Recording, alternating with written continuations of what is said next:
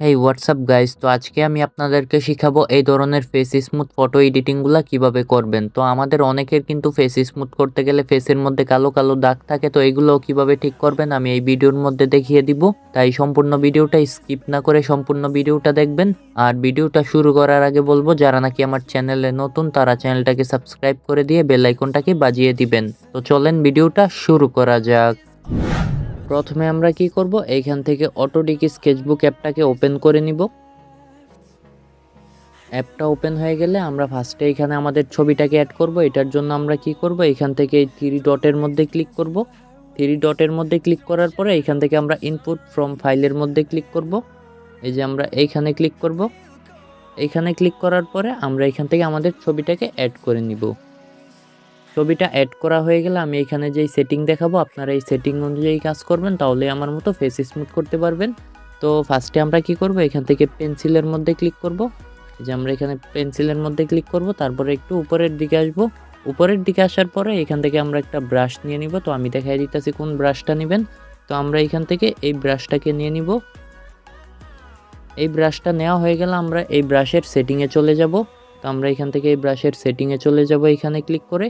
এই ব্রাশের সেটিং আসার পরে আমি এইখানে যেই সেটিংগুলো রাখব, আপনারা এই সেটিংগুলোই রাখবেন। আর সাইজটা শুধু আপনারা আপনাদের মতো রাখবেন। তো এখান থেকে আমি ব্রাশগুলোর সেটিং করে নিব। তো আমি এটাকে এইখানে এতটুকু রাখব আর নিচেরটাকে আমি এখান থেকে এতটুকু রাখব। তারপরে সাইজটাকে আপনারা আপনাদের মতো রাখবেন। তো আমি এখানে সাইজটা এতটুকু রেখে দিব। তো এইখানে আমি যেই সেটিংগুলো রাখছি, আপনারা এই সেটিংগুলো রাখবেন। আর সাইজটাকে শুধু আপনাদের মতো রাখবেন। তারপরে এইখান থেকে আমরা বের হয়ে যাব। বের হয়ে কি করব? আমরা আমাদের ছবিটাকে জুম করে নিব। জুম করে আমরা আমাদের ছবিটার মধ্যে এইভাবে ব্রাশটাকে চালিয়ে দিব। তো দেখেন আমাদের ফেসটা কিন্তু স্মুথ হইতাছে। তো এইভাবে আমরা আমাদের সম্পূর্ণ ফেসটাকে স্মুথ করে নিব। আর আপনারা সম্পূর্ণ ভিডিওটা দেখবেন, ভিডিওটা স্কিপ করে দেখবেন না, তাহলে কিন্তু আপনারা আমার মতো ফেস স্মুথ শিখতে পারবেন না। তো এইখানে আমি ফেসটাকে তাড়াতাড়ি স্মুথ করে নিব। আর আপনারা যখন করবেন, সময় নিয়ে করবেন।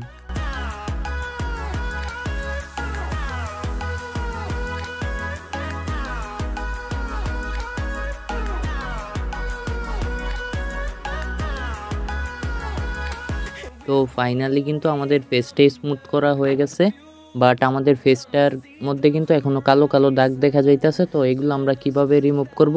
এই যে এই কালো দাগগুলো কীভাবে রিমুভ করব? এই ভিডিওর মধ্যে আমি সম্পূর্ণ দেখাবো, তাই এই জন্য আপনারা সম্পূর্ণ ভিডিওটা দেখবেন, আর স্টেপ বাই স্টেপ দেখবেন, ভিডিওটা স্কিপ করবেন না, তাহলে কিন্তু বুঝতে পারবেন না। তো ফেসটা স্মুথ করা হয়ে গেলে আমরা কি করব? এইখান থেকে আমরা এই যে এইখানে ক্লিক করব এইখানে ক্লিক করার পরে আমরা এখান থেকে প্লাস আইকনের মধ্যে ক্লিক করব। প্লাস আইকনের মধ্যে ক্লিক করে এখান থেকে একটা এমটি লেয়ার নিয়ে নিব। তো এমটি লেয়ারটা নেওয়া হয়ে গেলে আমরা এখান থেকে বের হয়ে যাব। তো আমরা এখান থেকে কি করব? কালারের মধ্যে ক্লিক করব। এই যে আমরা এই কালারের মধ্যে ক্লিক করব। কালারের মধ্যে ক্লিক করার পরে এখান থেকে আমরা হোয়াইট কালারটা নিয়ে নিব। তো আমি এখান থেকে হোয়াইট কালারটা নিয়ে নিলাম। তারপরে এখান থেকে বের হয়ে যাব। তো বের হওয়ার পরে আমরা কি করব? আমরা আবার এইখানে ক্লিক করব। এইখানে ক্লিক করার পরে আমরা এখান থেকে কি করব? আবার এই এমটি লেয়ারটার মধ্যে ক্লিক করব। এমটি লেয়ারটার মধ্যে ক্লিক করার পরে আমরা এখান থেকে এই যে এইখানে ক্লিক করব।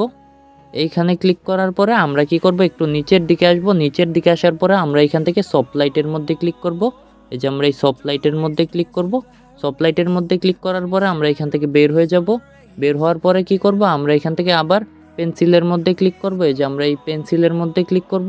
পেন্সিলের মধ্যে ক্লিক করার পরে কি করব? আমরা এখানে ক্লিক করব, তারপরে একটু উপরের দিকে আসব। উপরের দিকে আসার পরে আমরা কি করব? এখান থেকে একটা ব্রাশ নিয়ে নিব। তো কোন ব্রাশটা নেবেন? তো আমি এটা দেখাই দিতেছি। তো আমরা এখান থেকে এই যে এই ব্রাশটাকে নিয়ে নিব। ব্রাশটা নেওয়া হয়ে গেলে আমরা এই ব্রাশের সেটিংয়ে চলে যাব। এই ব্রাশের সেটিংয়ে চলে যাব এখানে ক্লিক করে। তো সেটিংয়ে আসার পরে আমরা কি করব? এখানে আমি যেই সাইজটা রাখব, আপনারা চাইলে এই সাইজটাও রাখতে পারেন, অথবা আপনাদের মতো সাইজটা রাখবেন। তো আমি এখান থেকে এতটুকু সাইজটা রেখে দিব। তারপরে কি করব? আমরা এখান থেকে বের হয়ে যাব। তারপরে আমরা আমাদের ছবিটাকে জুম করে নিব। ছবিটা জুম করা হয়ে গেলে আমরা এখানে আমাদের ফেসের মধ্যে এইভাবে ব্রাশটাকে চালিয়ে দিব। তো দেখেন আমাদের ফেসটা কিন্তু এখানে হোয়াইট হইতেছে মানে ফস হইতেছে। তো এখানে আমি তাড়াতাড়ি করে নিব।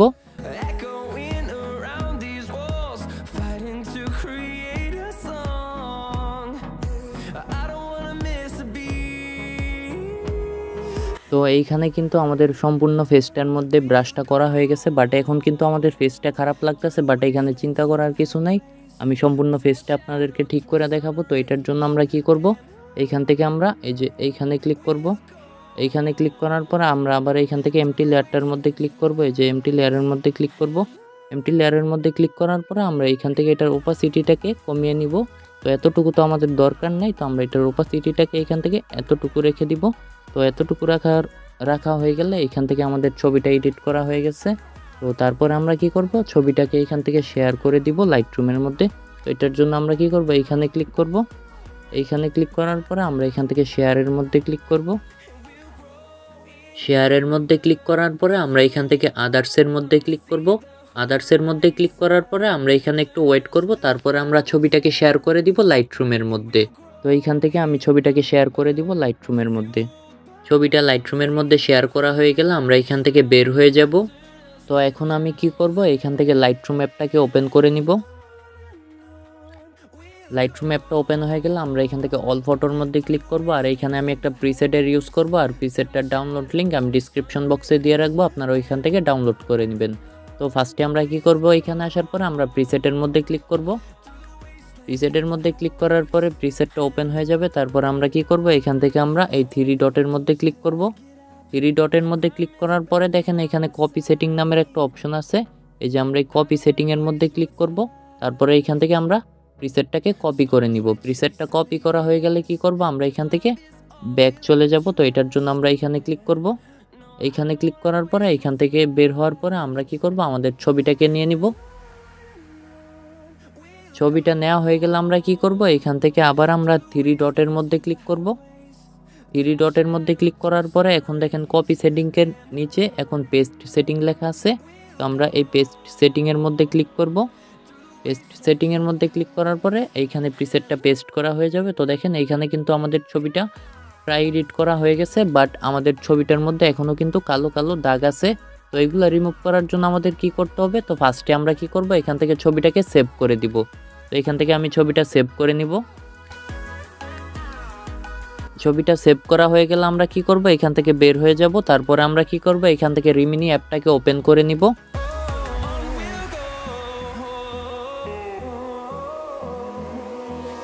রিমিনি অ্যাপটা ওপেন হয়ে গেলে আমরা কি করব? এইমাত্র লাইটরুম থেকে যে ছবিটা আমরা সেভ করছি, ওই ছবিটা আমরা এখান থেকে সিলেক্ট করে নিব। তো আমি এই ছবিটাকে নিয়ে নিব। ছবিটা নেওয়া হয়ে গেলে আমরা এখান থেকে ইনহ্যান্সের মধ্যে ক্লিক করব। তারপরে এখানে একটা অ্যাড আসবে, তো আমরা এই অ্যাডটা সম্পূর্ণ দেখব। অ্যাডটা দেখা হয়ে গেলে আমরা এখান থেকে ক্রসের মধ্যে ক্লিক করব। তারপরে দেখেন আমাদের ছবিটা কিন্তু এখানে এডিট করা হয়ে গেছে। তো দেখেন রিমিনি মারার পরে আমাদের ছবিটা এরকম হয়ে গেছে, তো আগে এরকম ছিল আর এখন এরকম হয়ে গেছে, তো আমি আপনাদেরকে জুম করে দেখাই দিতেছি, আগে এরকম ছিল আর এখন এরকম হয়ে গেছে, আমাদের ফেস থেকে কালো দাগটা চলে গেছে।